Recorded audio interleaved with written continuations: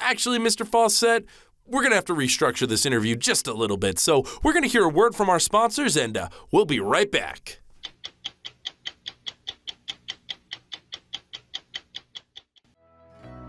Hi, have you or a loved one been molested by your local neighborhood drag queen?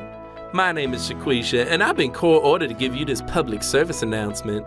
If you've been molested by your local neighborhood drag queen, you may be entitled to some financial compensation if you are in a minority group.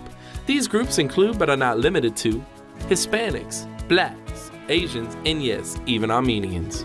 Due to a new bill passed in the Senate, which is supported by your future 2036 president, any drag queen that molests you without consent is required to pay up to 0.1 Bitcoin as restitution without the possibility of jail time, because you know, money talks. And if you are a drag queen, you are also required by law to join the National Drag Queen Registration List. And if you move into a new neighborhood, you are required by law to let your neighbors know that you are, in fact, a drag queen. If you think you qualify, call 310-800-1738 to speak to one of our drag queen molestation specialists. Once again, that number is 310-800-1738.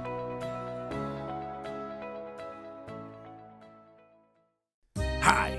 Is your child not doing good in school, getting bad grades, not talking to any chicks, Adderall's not working, Vyvan's not working, you tried Ritalin, but that makes your kid fucking crazy? Are they depressed, suicidal, lonely? Try fentanyl.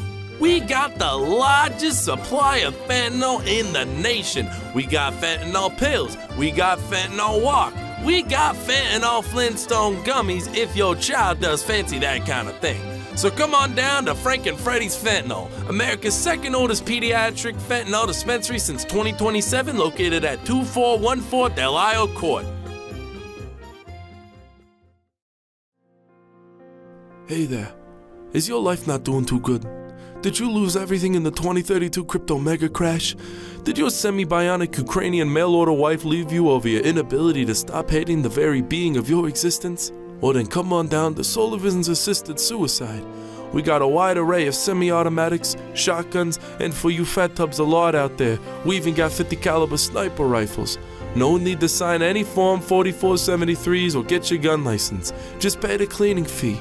That's right, a one and only and hopefully last cleanup fee you'll ever need. If our 50 caliber can't offer you in one shot, then the cleanup fee is waived. That's right, it's free. So come on down to Sullivan's, located at 1100 Congress Ave, Austin, Texas 78701. And hey, registered Democrats get 20% off their cleaning fee.